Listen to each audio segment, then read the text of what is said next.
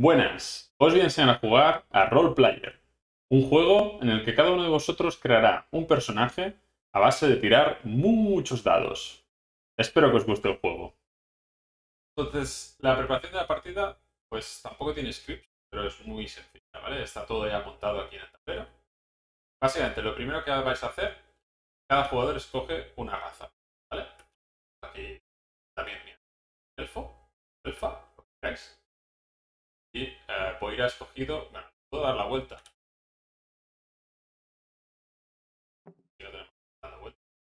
Ha escogido un mediano, Halfling. Entonces, esta es la primera elección que hacéis. Entonces, fijaros, son asimétricos los tableros. ¿Qué quiere decir? Por ejemplo, eh, pues el mediano tiene un menos 2 de fuerza. Luego veréis por qué. Eh, tiene un más 2 de carisma. Pues el elfo tiene otro tema, ¿no? De constitución, ¿vale? Cada clase, no, perdón, cada raza. Luego, ahora, empezaremos con el primer jugador, que es David. Vamos a escoger una clase. Entonces, la clase, tenéis una bolsa aquí con un montón de dados. Sacáis un dado. Ha salido este color. Entonces, aquí, si os fijáis, hay uh, seis clases, ¿vale? Cada clase se corresponde con un color. Entonces, este color de aquí Entiendo que es este de aquí. Entiendo que es. Déjame ver los dados, porque a veces los colores, los dados no se corresponden. Sí. Ahí es como un... Vale. David le ha tocado el bardo, ¿vale? Pero es reversible. Es decir, tenéis bardo, está al revés un poco raro, o monje. Esto lo podéis escoger vosotros, ¿vale? Entonces voy a quedarme el bardo. Entonces, esto os lo colocáis en la, ¿vale? en la, hueco este de clase. Entonces, eh, no sé por qué es un poco más pequeño. Debería ocupar todo esto. Esto básicamente es vuestro objetivo para la partida. Es decir, David tiene que conseguir 14 o más fuerza, 17 de destreza exacto, 14 más de constitución, inteligencia entre estos dos valores, etc. Si conseguís eso, os dan estos puntos de victoria. Así que cada jugador eh, va a tener un objetivo distinto. Además, tenemos una habilidad, ¿vale? Que luego lo veremos. Y es lo que lo convierte en poco asimétrico. Un poco la decisión que vais a tomar, ¿vale? Esto es distinto. Monje, si os fijáis, es totalmente distinto. El siguiente jugador, que es Boira. Eh, vamos a coger y le ha tocado el negro. Entonces, cada jugador tiene que tener una clase distinta. Eso es importante, que es el ladrón. Boira tiene la opción de ser un rogue o de ser un ladrón. caso un ladrón, porque va la comida. Lo colocamos aquí. Ha girado porque pasa un problema. Voy a poner aquí la rotación del... Vale. Ah, luego, cada jugador tiene que escoger... Bueno, no más bien escogernos, le damos aleatoriamente un trasfondo, ¿no? Backstory. Vamos. Le vamos a dar una a David. No, a William. ¿Vale? Entonces, la carta de trasfondo es otro objetivo que tenéis en esta partida. Y aquí no hay una elección, ¿vale? Os lo han dado y ya está. Entonces, si os fijáis, esto de aquí es la misma columna de atributos que tenéis. Entonces, esto conseguís colocar estos colores exactos, independientemente del valor, ¿eh? esos colores exactos en esta forma, cuantos más hagáis, más puntos os hacen. ¿vale? Esto es un trasfondo que tenéis. Y luego tenéis... Mira, ha venido Boira. Ha venido Boira. Vale. Luego tenéis eh, el alineamiento, ¿vale? Alineamiento también. ¿Vamos? le vamos a dar una carta de... Ah, no, ya la Le damos la carta de alineamiento a cada jugador. El alineamiento, os cogéis los cubos de vuestro color. Este jugador tiene los negros. Y lo colocáis en el centro. Luego veréis esto, cómo se puede mover. Y esto afectará a vuestra puntuación también. ¿vale? El típico alineamiento de bueno, malo, caótico. Eh, el otro jugador, el elfo, ¿qué color tenía? El lila. Dejamos un marcador aquí y otro marcador os lo quedáis. Vale. Y estos dados los devolvemos a la bolsa. Ya los hemos dado. Mezclar la bolsa, ¿vale? Siempre. Vale. Vale, ¿qué más? Primero, no, estos son la preparación de los jugadores, ¿vale? Cada jugador ya tiene su ficha de personaje creada, ¿no? Con su clase, su trasfondo, etc. Vale, ahora vamos a preparar un poco el tablero. Primero, estas cartas de aquí fijaos que depende del número de jugadores, ¿vale? Dos jugadores o más, dos jugadores o más. Esta de aquí es reversible. La dejáis con dos jugadores.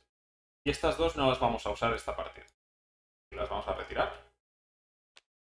Estas son cartas de iniciativa, ¿vale? Y vamos a usar, creo que son tantas como, o sea, jugadores más uno, ¿vale? Vamos a usar estas tres. Y ahora vamos a preparar el mercado. Entonces el mercado ya está preparado aquí, ¿vale? hay dos mazos. Quiero que os fijéis una cosa. Arriba a la derecha hay dos puntitos, ¿vale? Hay las cartas con dos puntitos, el mazo de aquí, y hay las cartas con un punto, ¿vale? Entonces, eh, de estas cartas, como somos dos jugadores, vamos a descartar siete cartas de cada mazo.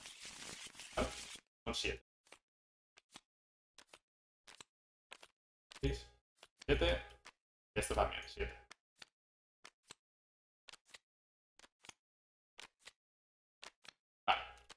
Y ahora voy a preparar el mazo de mercado. Y aquí es muy importante. Es las de un puntito, que son estas de aquí, las colocamos encima de las de dos. Y ahora no mezclo, ¿vale? He mezclado los dos mazos por separado y ahora no los mezclo. Lo dejaremos aquí, el mazo de mercado. Y vamos a sacar tantas cartas de mercado como jugadores más uno. Tenemos una, dos, luego os explicaré las cartas. Tres cartas. Básicamente son el mismo número que cartas de inicio. Y ahora, para terminar la preparación de la partida, vamos a sacar por turnos tantos dados como número de jugadores más 4. Es decir, 6 dados. Entonces, primero va a empezar David, que hemos dicho que era jugador inicial. Entonces, mezclamos la bolsa y sacamos 6 dados. 5, Vale, con estos dados los cogéis todos y los tiramos. Vale, y ahora los podemos colocar donde queramos, de izquierda a derecha. ¿Qué criterio vamos a seguir? Lo que os decía un poco al principio. Básicamente, yo quiero estos dados de color en estas posiciones concretas para hacer estos puntos. También quiero que cada atributo tenga ese cierto valor. Además, pensad que cada raza tiene un modificador. 14 de, tengo 14 de constitución o más, tenemos que acordarnos que tengo este menos 2. Entonces, lo último también puede influenciar en la elección es que los dados, uh, bueno, aquí no porque los tengo que colocar todos, ¿vale? Pero luego veréis que los dados de mi clase, los dados lilas, me dan más puntos, ¿vale? Entonces, bueno, de hecho aquí tenéis el class color dice, ¿vale? los dados que tenga será también punto. Entonces, vamos a colocarlos un poco. Pues mira, fácil. Y este de aquí, 5, lo coloco aquí en destreza. Vale, coloco aquí. Porque destreza realmente ya tengo un modificador de más 2. Luego me interesa colocar un lila aquí abajo, negro aquí. Entonces podríamos hacer, por ejemplo, necesito de carisma, necesito 18. ¿vale? Pues podemos colocar este 6 este 3. Vale, me estaréis diciendo, pero ¿cómo vas a llegar a 18? Necesitas 3 6 Bueno, luego ya investigamos cómo. Necesito ahora un negro aquí. Hacemos de 2 y este 2. ¿Vale?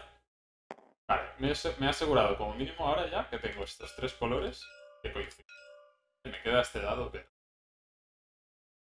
Lo vamos a poner uno que esté bastante 5, ¿no? Bastante valor.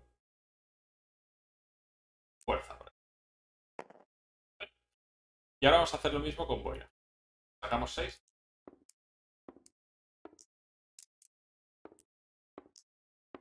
Vale. Uh, no, he sacado uno más. Los puedo poner. Vale, he sacado el último.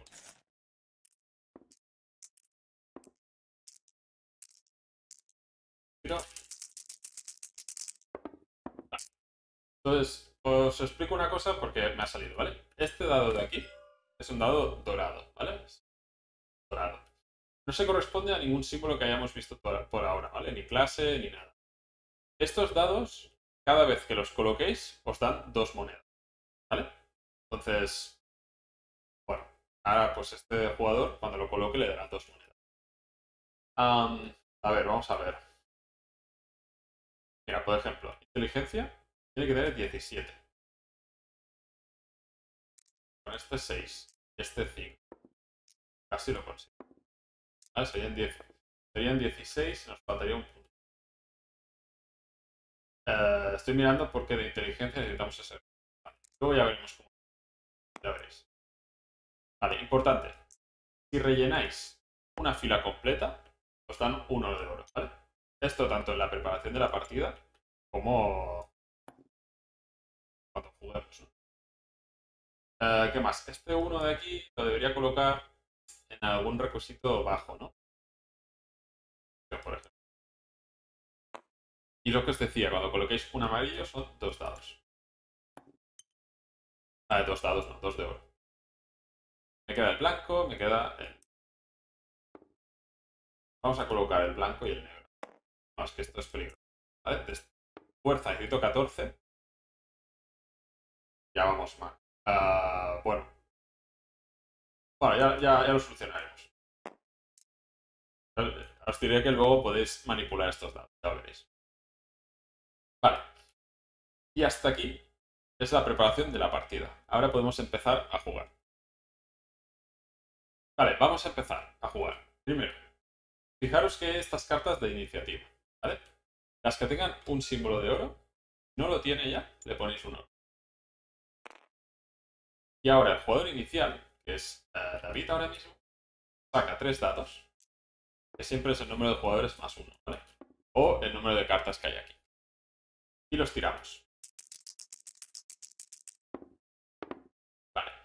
Se van a colocar siempre de menor a mayor. Y en caso de empate, el jugador inicial, es dados, decide. ¿Vale? Entonces, vamos a poner 1, 2 y 5. Vale. Entonces, ahora, empezando por el primer jugador, tenemos que escoger uno de estos dados, o más bien una de estas cartas de iniciativa, que veremos que es importante para luego el mercado, ¿vale? Y cogemos ese dado también. Entonces, ahora ya un poco vemos lo que necesitamos, ¿no? Os decía. Eh, este jugador le interesan los lilas, que dan puntos. No hay ninguno lila. Vamos a ver si podemos completar alguna fila, por ejemplo. Carisma, pues...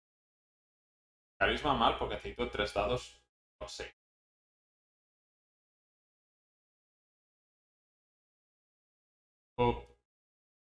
pues... Bueno, vamos a cogerlo un poco Vamos a coger este. Porque, bueno, no necesitamos coger la carta. De...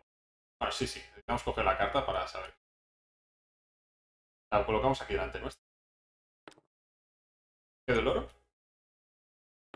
Y colocamos el 2. Entonces, ¿dónde lo colocamos? Pues donde queramos. Entonces, voy a, voy a colocarlo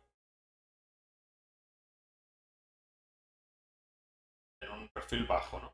De 14, por Vale. es un... Vale.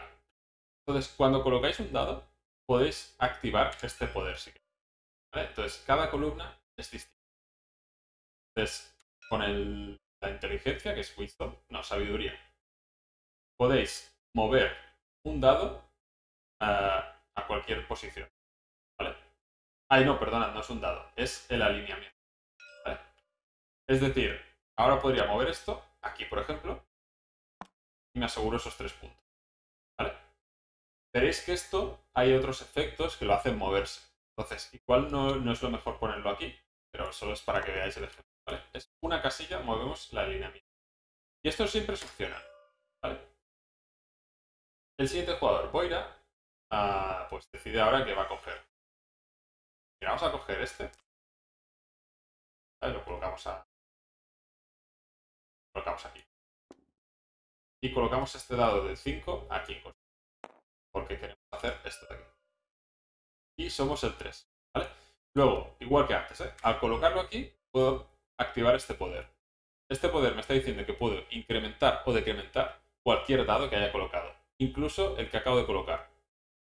Claro, no es mucho uno, pero fijaos que sabiduría te necesitaba un 15 o 16. Ah, no, perdón, iniciativa necesito... De iniciativa no, inteligencia, me estoy equivocando con todo. Inteligencia necesito 17. Y este lo incremento a 6. Ya lo tengo. ¿Vale?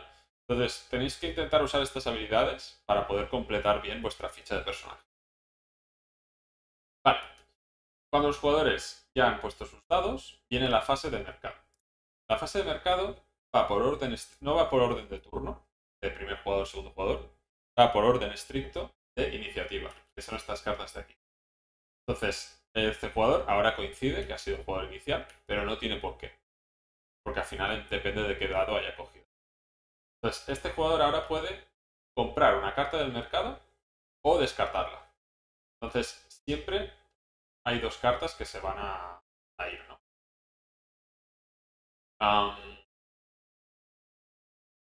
pues mirad, esto de aquí, Esto de aquí es el precio. Ha salido la casualidad que son tres iguales y no tenemos eh, dinero. Cuando pasa esto, simplemente cojo una carta para descartarla y gano dos de oro. Entonces, esto os puede ir bien porque si este jugador quiere una de estas cartas, la podemos... Imaginaos que este no quiero que la tenga boina. Gano dos de oro. Siempre... O sea, no podéis... En esta fase no podéis pasar. Tenéis que o comprar una carta o descartar una carta. Y ahora Boira tiene que hacer la misma decisión. Pero Boira decide comprar esta espada, por ejemplo. Tres monedas.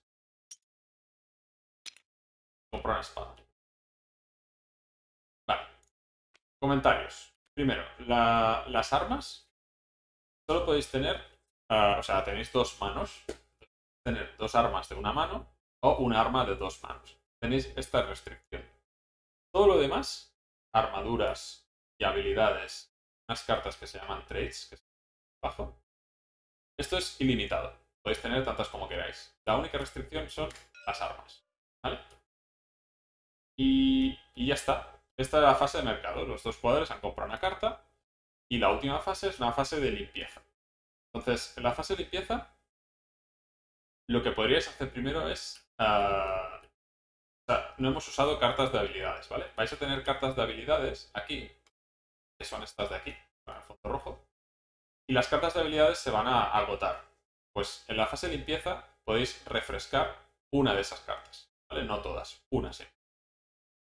Y luego simplemente se va a descartar todo lo que no se haya comprado. Se descarta esto, se descarta este dado también. Y se devuelven las cosas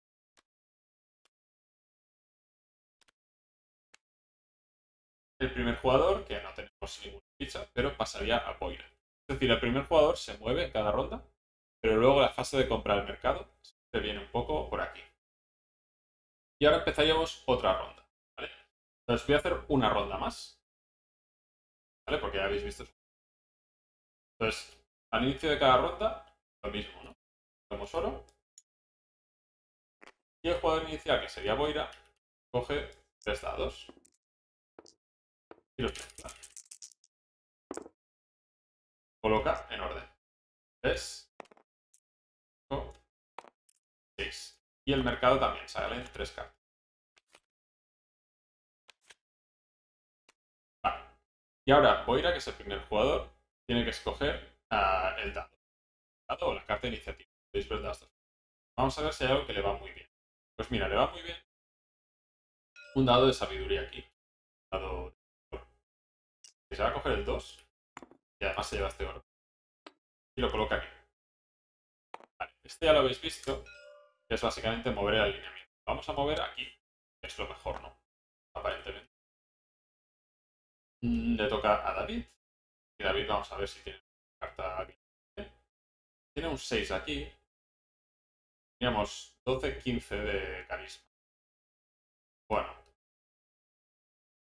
Vamos a hacerlo para que veáis la habilidad. Coloco este 6 aquí. Aquí, por ejemplo, ya me falta poco para llegar a 18. Debería tener un, 6 aquí. Ah, ya veremos cómo lo Y el carisma nos da un token de esto.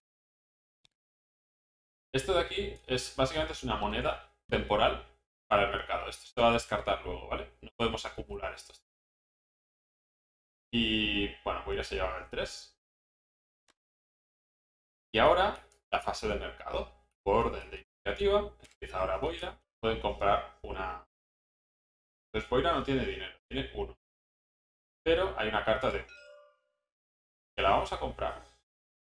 Porque es una habilidad. Y así también la os explico. Pues las habilidades. bueno, son cartas que podéis usar tirándolas cuando toque, ¿vale? Y acordaos que solo vais a refrescar una de esas habilidades por turno. Entonces, mm, depende de la habilidad, ¿vale? No, la vamos a leer ahora, pero básicamente os permitirán hacer cosas con los dados. Una buena. el jugador de David, vamos a comprar una armadura. También la veis. Armadura. Cuesta 3. Y tiene este descuento, así que pagamos 2. Y descartamos ese descuento. Y las, armaduras, básicamente podéis tener tantas como queráis, ¿vale? No hay restricción, como en el caso de las armas. Las armaduras básicamente os dan puntos por colección de sets. Es decir, esta de aquí, por cada carta de armadura, fijaos, con 5 me dan 10 puntos. Y además me da más 1 y llevo una, clase eh, roja o blanca. En este caso no somos ni uno ni el otro. Pero bueno, esto os va un poco... Esta armadura seguramente no la debería haber comprado. No es la clase, no es mi clase. Pero igualmente, mira, ya tengo un punto de victoria y podría acumular más cartas. Y ya está. Otra vez, fase de limpieza. Eh, bueno, lo mismo. Refrescaríamos habilidades, descartaríamos las cartas. Dados también van. Ya estaríamos, bueno, moveríamos el primer jugador a David y ya estaríamos preparados para otra ronda. Vale, pues esto lo iríamos haciendo hasta que los jugadores hayan puesto todos los dados. Entonces, si os fijáis, cada turno vais a poner un dado siempre. va a haber un momento que los dos jugadores tengan su ficha de personaje llena. Entonces, antes de explicaros cómo se cuentan puntos, permitidme que os acabe de explicar las habilidades, ¿vale? Entonces, la de fuerza es darle la vuelta al dado, ¿vale? Entonces, el truco de siempre, y este es un 5, sabéis que la, la cara opuesta es un 2 algo que hemos aprendido en este canal. ¿Vale? Entonces, a veces ah, os puede ir bien. Si tenía un 1, sabemos que la cara opuesta es un 6. Poner un 6. Por eso os decía que no os preocupéis si he puesto este, por ejemplo, y yo quiero que esto sea un 6, ¿vale? Porque tenéis más, más acciones. Esta de aquí te permite intercambiar dos dados, ¿vale? Entonces podría, por ejemplo, imaginaos que en algún momento tuviera un 6 lila, por aquí, lo podría cambiar con este 3. No tiene por qué ser del mismo color, he puesto un ejemplo malo. Pero, bueno, podría cambiar este 3, ponerlo aquí. Entonces, bueno, he renunciado a esto, pero básicamente me ha asegurado estos 4 puntos de victoria, que 18 salen. Aunque podéis tener una fila. Acordaos también que al rellenar una fila eh, ganaríamos. Bueno, de hecho, no sé si lo he ganado antes, creo que sí. ¿Qué más? Esta de aquí ya la hemos visto, subir o bajar un número. Y no hay bucles, ¿vale? No podemos bajar de un 6 a... No podemos subir de un 6 a un 1. Esto de aquí es un reroll. Y la particularidad es que esto, pues, lo que es un dado, imaginaos que coloco este aquí. Puedo hacer reroll de cualquier, de cualquier dado. Y lo más importante es que cojo este 5, lo tiro. Y me puedo quedar con el 5 o con el 2 el que yo quiera, ¿vale? Pero sí que tiene que ir en el sitio donde está. Pero lo guay es que si me gusta, lo dejo como estaba antes, como el 5. Este de aquí es mover el alineamiento, y esto de aquí es el descuento. Entonces, el alineamiento, eh, los tengo que explicar también, que hay algunas cartas, Esto de aquí es un, un rasgo, ¿vale? Las cartas de rasgo, cuando las compráis, también os mueven el alineamiento. Así que, aunque tú te hayas hecho el esfuerzo de ponerlo aquí, yo compro esta carta, veis arriba a la derecha, y a mover esta ficha aquí. Lo bueno es que los rasgos son, normalmente son buenas cosas. Aquí te dice, por ejemplo, que ganas dos puntos por cada uno de tus atributos que tengan 5 o menos. ¿Vale? Entonces, si alguno de estos tengo valores muy bajos, me va a dar dos puntos por cada uno. Entonces, está bien. Y nada, os explico cómo funciona el recuento de puntos. Cuando habéis llegado todos los dados, está todo vuestra ficha llena, vais a... Bueno, aquí tenéis la guía, que está muy bien. Básicamente, mirad los atributos. En este ejemplo, por ejemplo, ahora serían uh, cuatro puntos por carisma y lo demás no consigo puntos. Fijaos que algunos son el valor exacto, son los más difíciles. Pero otros podéis simplemente pasaros y ya está, o un rango. Y acordaos siempre de aplicar los modificadores. Es donde entra la asimetría de los personajes. Luego tenéis Class Color Dice. Aquí tenéis que, por cada dado que habéis usado de color de clase, os va a dar un punto. ¿Vale? un punto, ¿eh? Solo, no, miréis el número del dado, solo un punto. ¿Qué más? Eh, la carta de alineamiento, también. Eh, tres puntos aquí si tenéis U al finalizar la partida, menos uno si lo tuviera por aquí. Qué cuidado. luego, la carta de trasfondo, esta de aquí. Pues si conseguís coincidir estas cosas, os dan estos puntos de victoria, en función de cuántos, cuántas coincidencias haya. una cosa que igual no he insistido es que los dados se tienen que poner de izquierda a derecha. No puedo poner un dado aquí. ¿vale? Siempre de izquierda a derecha y acordaos que os da un oro cada vez que coloquéis el tercer dado. Aquí como el recuadro este amarillo o recordatorio. ¿Qué más? Las armaduras. Pues se contarían los sets de armaduras. Y aunque sea un poco extraño, puedes tener tantas armaduras como quieras. Estás limitado. Y finalmente las cartas de rasgo. Las cartas de rasgo, como hemos visto, algunas te dan puntos. Entonces haríais la suma de puntos cada, cada uno individualmente. El que tenga más puntos es el eh, ya está. Esto es roleplayer. Espero que os haya gustado. Esto es todo. Como siempre, si tenéis alguna duda o comentario, lo podéis dejar aquí en YouTube. Y os recuerdo que estoy todos los miércoles y sábados en Twitch. ¡Hasta luego!